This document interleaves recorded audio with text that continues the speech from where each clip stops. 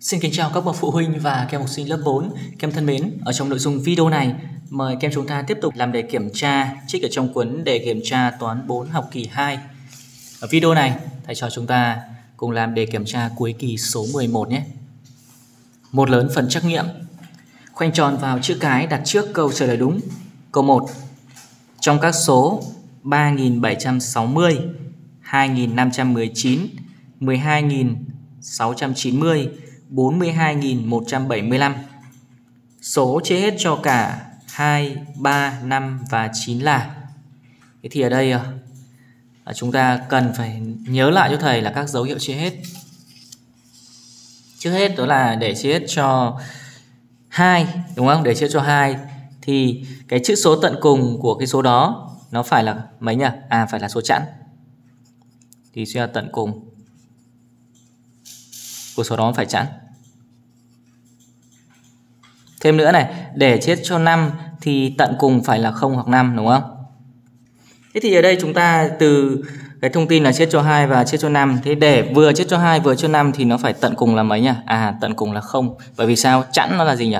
Chẵn là 0 này, 2 này, 4 này, 6, 8 đúng không?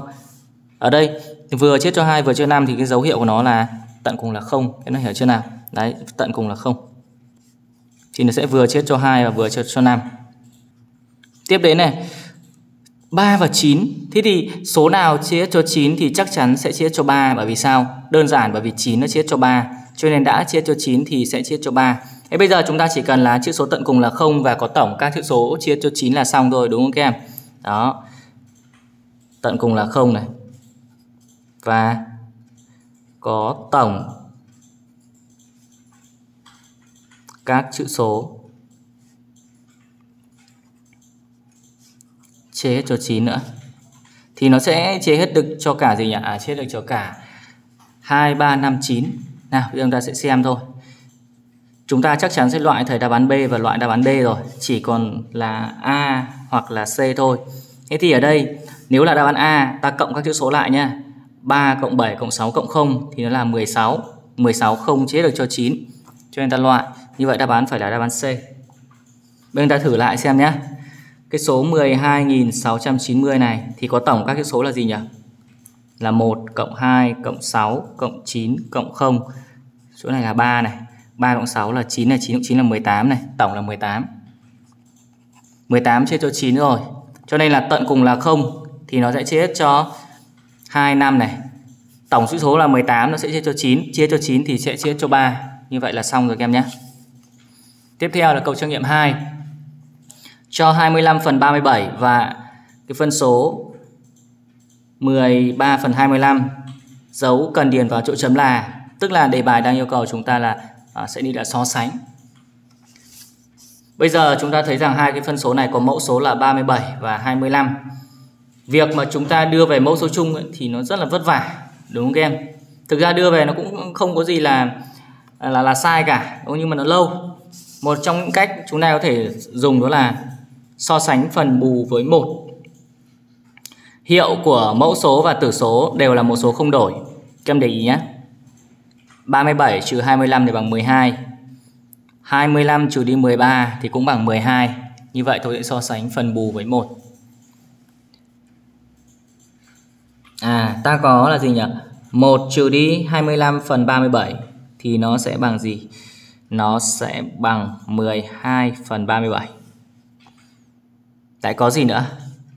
1 trừ đi 13 phần 25 thì nó sẽ bằng 12 phần 25. Bây giờ chúng ta sẽ so sánh hai cái hiệu này. Ta thấy rằng 12 phần 37 nó bé hơn 12 phần 25. Đúng chưa em? À nên sao nhỉ? Nên 1 trừ 25 phần 37 này, nó sẽ bé hơn. 1 trừ 13 phần 25 Cùng là 1 trừ đi, Mà cái hiệu này nó bé hơn, Cho nên là cái phân số ban đầu nó phải lớn hơn. Nên tiếp 25 phần 37 này nó phải lớn hơn 13 phần 25 Các em đã hiểu chưa? Đã như vậy là chúng ta sẽ điền dấu lớn hơn nhé. Câu 2 này chúng ta chọn đáp án A. Tiếp theo là câu trắc nghiệm 3. Một hình thoi có độ dài hai đường chéo lần lượt là 3 phần 4 m và 5 phần 7 m. Diện tích của hình thoi là Muốn tính diện tích của hình thoi, ta lấy tích của hai đường chéo rồi chia hai. Như vậy, ở bước 1, đó là thầy sẽ dùng tích tính tích của hai đường chéo đã. À, tích hai đường chéo sẽ là 3 phần 4 nhân với lại 5 phần 7. Hai phân số nhân với nhau, ta sẽ lấy tử nhân tử trên mẫu nhân mẫu, tức là 15 phần 28. Đến đây mới chỉ là tích của hai đường chéo thôi nhé. Như vậy diện tích của hình thoi nó sẽ bằng gì? À, tích hai đường chéo chia 2 tức là 15 phần 28 này kem chia 2. kem đã hiểu chưa? Chia 2 thì tức là bằng 15 phần 28 chia cho 2 phần 1. Tức là bằng gì?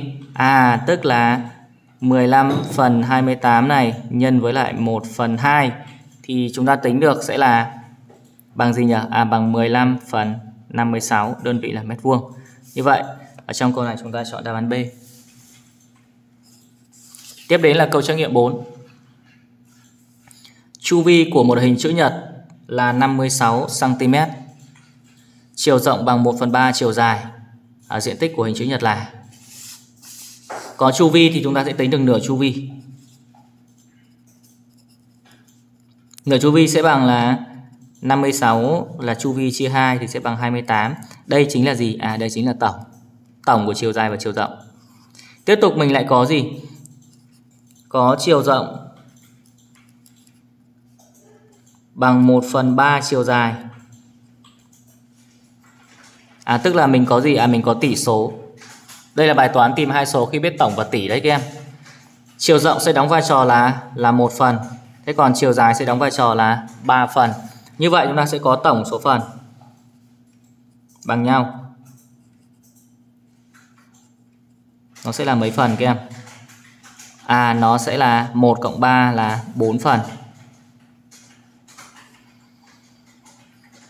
Thì từ đây các em sẽ tính cho thầy được là số lớn số bé, đúng không nào? Số lớn thì ứng vai trò là chiều dài. Chiều dài của hình chữ nhật thầy viết tắt nha. Là gì nhỉ? Ta lấy tổng là 28 chia tổng số phần là chia 4. 28 chia 4 thì bước này các em sẽ ra giá trị của một phần. Và chiều dài là số lớn sẽ ứng với 3 phần em sẽ nhân với 3. 28 chia 4 là 7, 7 nhân 3 là 21. Đơn vị là cm. À như vậy thì chúng ta sẽ tính được chiều rộng. Chiều rộng ta có thể lấy tổng trừ đi luôn cho chiều dài thôi là 28 trừ đi 21 là bằng 7, đơn vị là cm. Có chiều dài, có chiều rộng thì mình sẽ tính được gì à diện tích. Ta lấy chiều dài nhân chiều rộng cùng đơn vị đo. Đơn vị đo đều là cm rồi. Ta lấy 21 nhân với 7 thì sẽ bằng gì? 7 x 1 là 7 này, 7 x 2 14, 147 cm vuông. Câu này chúng ta chọn đáp án B. Tiếp theo là câu trắc nghiệm 5. Trong các số đo khối lượng sau, 1 phần 4 tấn, 275 kg, 38 yến, 4 tạ, số đo lớn nhất là À, các em muốn so sánh thì các em phải thống nhất về cùng một đơn vị đo cho nó dễ. Và với thầy thì thầy sẽ đưa về cùng là kg thì thầy sẽ so, so sánh nha các em nhé. À, kg sẽ là cái đơn vị đo nằm giữa này đúng không? Ta sẽ đi so sánh. Đơn vị đo bé nhất đấy, đúng không? Đơn vị đo bé nhất. Mình sẽ đổi ra kg hết nhé cho nó dễ. 1 phần tư tấn thì chẳng qua nó sẽ chính bằng gì nhỉ? À, 1 tấn là gì? 1 tấn là 1.000 kg đúng không? 1 tấn này 1.000 kg đúng không các em như vậy thì chúng ta sẽ có là 1 phần tư tấn thì các em ờ, sẽ lấy 1.000 các em chia cho 4 đúng không em? Đó. các em không thích chia 4 thì các em lấy 1.000 em nhân với 1 phần 4 nó vẫn ra thôi mà, đúng chưa nào? Thì nó sẽ ra được là 250 đơn vị là kg. Đó. 1 phần 4 tấn sẽ là 250 kg. Bây giờ mình sẽ có gì? 250 kg này. Có gì nữa? Thầy viết theo thứ tự luôn nhé. 275 kg này. 38 yến. Một yến là 10 kg. 38 yến thì nó sẽ là 380 kg. Thầy đang viết lần lượt nhé, các em, được chưa? Đây. Tiếp đến là 4 tạ. 4 tạ sẽ là 400 kg. Đề bài hỏi chúng ta số đo lớn nhất, vậy nó sẽ chính là gì? 400 kg, tức là 4 tạ là to nhất. Chúng ta chọn cho thầy đáp án D.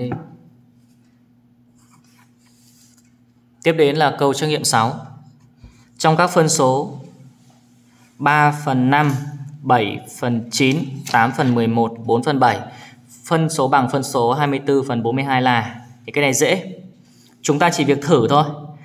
Thế thì ở đây thầy sẽ lấy cái phân số 4 phần 7 này, Thầy nhân cả tử số và mẫu số với 6 Thì ta thấy rằng là 4 mà nhân với 6 thì ta sẽ được là 24 7 x 6 ta sẽ được là 42 Vừa tròn rồi, đúng không?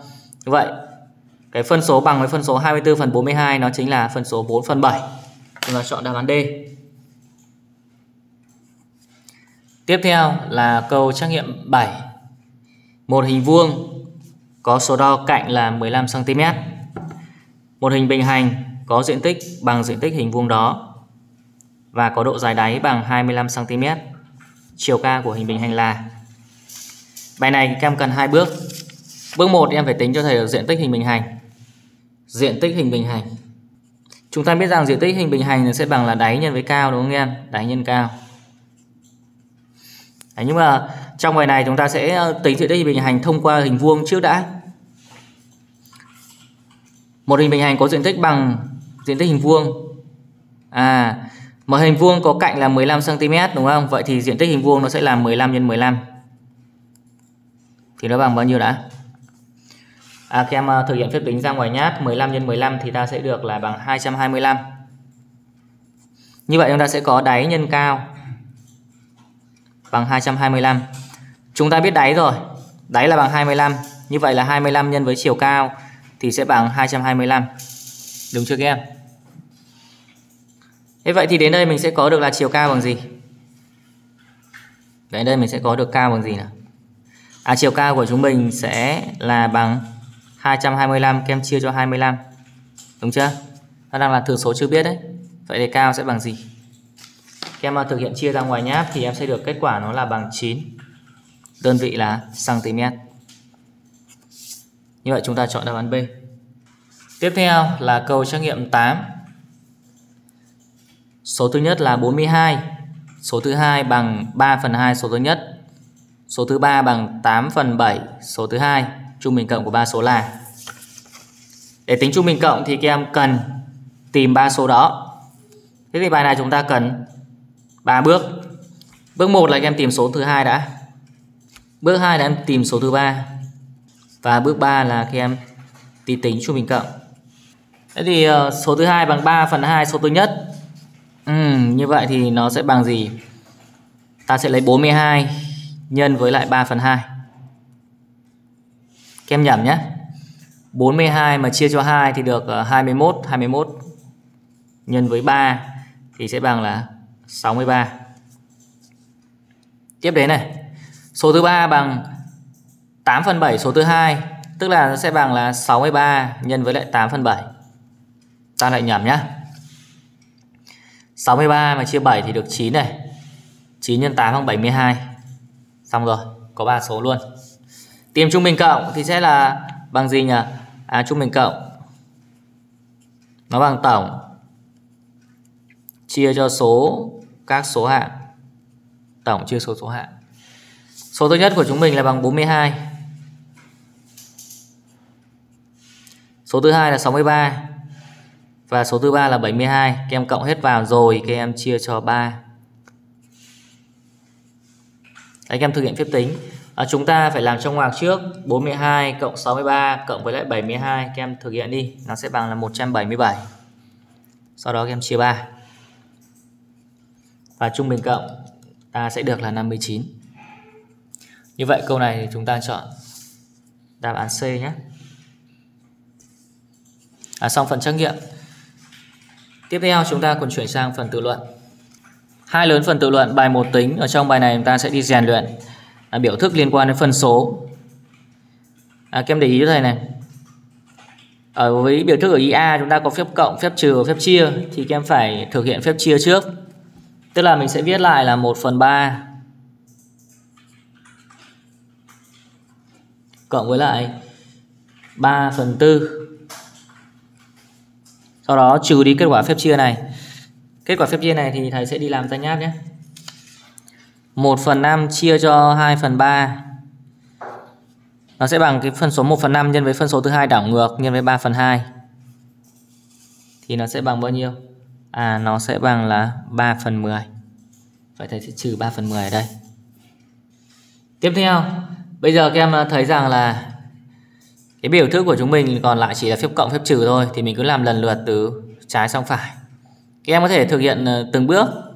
Các em lấy 1 phần 3 cộng 3 phần 4 trước, được kết quả rồi sau đó trừ 3 phần 10 hoặc các em có thể quy đồng hết một lượt cũng được nhé quy đồng hết một lượt. Mẫu số là 3 là 4 là 10 thì mẫu số chung nó sẽ là 60 60 chia 3 được ờ, 20 ta lấy cả tử cả mẫu nhân với 20 thì ta sẽ được là 20 phần 60 cộng với này 60 là mẫu chung chia cho 4 thì được ờ, 15 ta lấy cả thừa số mẫu số nhân với lại 15 3 nhân 15 là 45 phần 60 trừ đi 60 chia 10 thì được 6 lấy cả tử số mẫu số cùng nhân với 6 tức là trừ đi 18 phần 60 Đến đây khi các phân số này cộng trừ với nhau mà chỉ ờ, có mẫu số chung rồi, ta chỉ cần việc là trừ cộng trừ các tử số với nhau thôi. Tức là mình sẽ viết ở đây nó sẽ bằng gì? À nó sẽ bằng là 20 cộng với 45 rồi trừ cho 18 tất cả trên cho 60 đó các em cứ làm lần lượt thôi nhé. 20 cộng với lại 45 là 65 65 trừ đi 18 thì sẽ bằng là 47 phần 60 à, như vậy chúng ta sẽ ghi kết quả vào đây nhé tiếp theo là ý B ý B thì cái biểu thức này của chúng mình là có dấu ngoặc thì mình phải ưu tiên làm trong ngoặc trước em ạ. 2 phần 5 cộng với 1 phần 3 là bao nhiêu? Chúng ta lại làm ra nháp nhé. Thì mẫu số chung của nó là 15 15 mà chia 5 thì được 3 mẫu, ta lấy cả tử và mẫu cùng nhân với 3 thì ta được là 6 phần 15 cộng. 15 chia 3 được 5 ta lấy cả tử số mẫu số, phân số này nhân với 5 tức là cộng với 5 phần 15 cùng mẫu rồi, ta cộng tử với nhau thôi. 6 cộng 5 là 11 11 phần 15 vậy ta viết vào đây.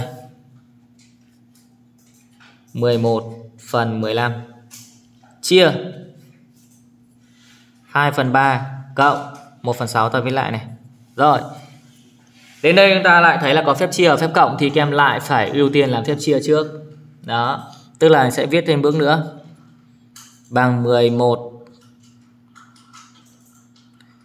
phần 15 kem nhân với lại 3 phần 2 rồi kem cộng với lại 1 phần 6 Bây giờ ta sẽ đi làm gọn ra nhé, Bởi vì cái biểu thức này chúng ta hết giấy rồi. Ta sẽ đi làm gọn ra ngoài nháp này. 11 trên 15 nhân với lại 3 phần 2 này. Bằng gì? Lấy tử nhân tử trên mẫu nhân mẫu, Tức là bằng 33 phần 30 Thấy rút gọn được cho 3 Thì ta sẽ cùng chia cho 3 33 chia 3 thì được 11 30 chia 3 thì được 10 11 phần 10 Ta viết vào đây. 11 phần 10 Cộng với lại 1 phần 6 Bây giờ cộng hai phân số này ta đưa về mẫu số chung. Mẫu chung là 30 đấy các em ạ. 11 phần 10 này Cộng 1 phần 6 30 mà chia 10 thì được 3 Lấy cả tử và mẫu cùng nhân với 3 Thì tức là sẽ là 33 Phần 30 Cộng với gì này? 30 chia 6 thì được 5 Lấy cả thử số và mẫu số cùng nhân với 5 Tức là cộng với lại 5 phần 30 Cùng mẫu số ta cộng tử với nhau thôi, đúng không các em? Đấy đang ta viết lại nhé. Nó đây, thầy sẽ viết xuống dòng đây. Nó sẽ bằng gì?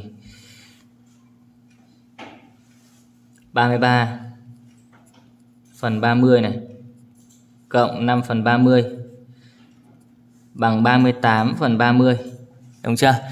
Đến đây lại rút gọn tiếp. Cùng chia cho 2 mà đúng không? Nó sẽ là 19 phần 15 xong. Đấy, chúng ta đã xong ý B rồi. Tiếp theo đến với bài tự luận 2 tìm uh, x phần y biết. Thực ra nó chính là cái bài toán tìm x thôi. Và ở đây người ta cho tìm cái phân số chưa biết. Nó giống như bài toán tìm x thôi em. Đây em coi đây là một cái số x chưa biết đúng không? Số x lớn chưa biết đấy. Hoặc là coi là một số a chưa biết đây em đúng không? Vậy thì uh, việc đầu tiên này chúng ta sẽ đi làm gọn cái phép tính bên vế phải này. Mình sẽ viết đó là x phần y nhân với lại 3 phần 4 sẽ bằng gì? Thực hiện kết quả ra ngoài nháp. 5 phần 6 cộng với 1 phần 3 thì mẫu chung là 6 nhé. Thì sẽ bằng 5 phần 6 này. Cộng 6 chia 3 được 2, lấy cả tử và mẫu cùng nhân với 2 ở phân số này. Tức là cộng với 2 phần 6. Cộng lại sẽ bằng 7 phần 6. Ta viết vào đây. Thế bây giờ x phần y nó đóng vai trò là thừa số chưa biết thì nó sẽ bằng tích chia cho thừa số đã biết. Vậy ta sẽ có x phần y sẽ bằng 7 phần 6 chia cho 3 phần 4. Và ta viết thêm bước nữa cho cẩn thận, đó là x phần y sẽ bằng 7 phần 6 chúng ta nhân với lại 4 phần 3 và thực hiện kết quả này ra ngoài nháp nhé phép tính ra ngoài nháp. 7 phần 6 nhân với 4 phần 3 thì các em có thể nhân hết vào, sau đó em rút gọn sau cũng được. 7 nhân 4 là 28 phần 6 nhân 3 là 18 em thấy rằng là cùng chia hết được cho 2 thì nó sẽ bằng là 14 phần 9 như vậy ta sẽ viết kết quả vào đây. X phần y của chúng mình sẽ bằng là 14 phần 9 như vậy chúng ta đã xong. Ý A ý B các em làm tương tự. 7 phần 9 chia cho x phần y. Việc đầu tiên chúng ta sẽ đi làm gọn phép tính bên vế phải này. 10 phần 7 trừ đi 13 phần 14 Thì mẫu số chung sẽ là 14 các em. 14 chia 7 được 2 Ta lấy cả tử và mẫu phân số này cùng nhân với 2 20 phần 14 trừ đi 13 phần 14 Cùng mẫu số rồi lấy tử số trừ cho nhau. 20 trừ đi 13 là bằng 7 7 phần 14 rút gọn tiếp cho 7 thì sẽ bằng là 1 phần 2 đó, ta sẽ viết ở đây là 1 phần 2 Tiếp đến Còn lại đây là phép tính chia. Thì x phần y sẽ đóng vai trò là số chia chưa biết. Thì sẽ bằng gì? Sẽ bằng số bị chia chia cho thương. Ta sẽ viết x phần y sẽ bằng là số bị chia là 7 phần 9 Chúng mình chia cho thương là chia cho 1 phần 2 à, Viết bước nữa x phần y sẽ bằng 7 phần 9 nhân với lại 2 phần 1 Vậy thì x phần y của chúng mình sẽ bằng gì? 14 phần 9 Ồ, oh, cả hai bài này thì kết quả đều là bằng 14 phần 9 các bạn Chúng ta tiếp tục với lại bài tự luận 3 nhé. Đề bài như sau này. Một cửa hàng có 280 kg gạo. Buổi sáng cửa hàng bán được 2 phần 7 số gạo. Buổi chiều cửa hàng bán được 3 phần 4 số gạo Buổi sáng đã bán. Hỏi cửa hàng còn lại bao nhiêu kg gạo? À, Bài này thì chúng ta thấy là rõ ràng nó có đang có là ba bước tính thôi. Bước 1 là các em phải tính cái gì nhỉ? Tính ờ, cửa hàng buổi sáng bán được bao nhiêu? Bước 2 là tính ờ, buổi chiều bán được bao nhiêu? Và bước 3 là tính còn lại thôi. À, Chúng ta có phần bài giải nhé. Mình có. Bước 1 là là buổi sáng, cửa hàng bán được số kg gạo là Các em đọc này. Buổi sáng cửa hàng bán được 2 phần 7 số gạo. 2 phần 7 số gạo tức là 2 phần 7 của 280 Thầy nháp vào đây cho các em nhé.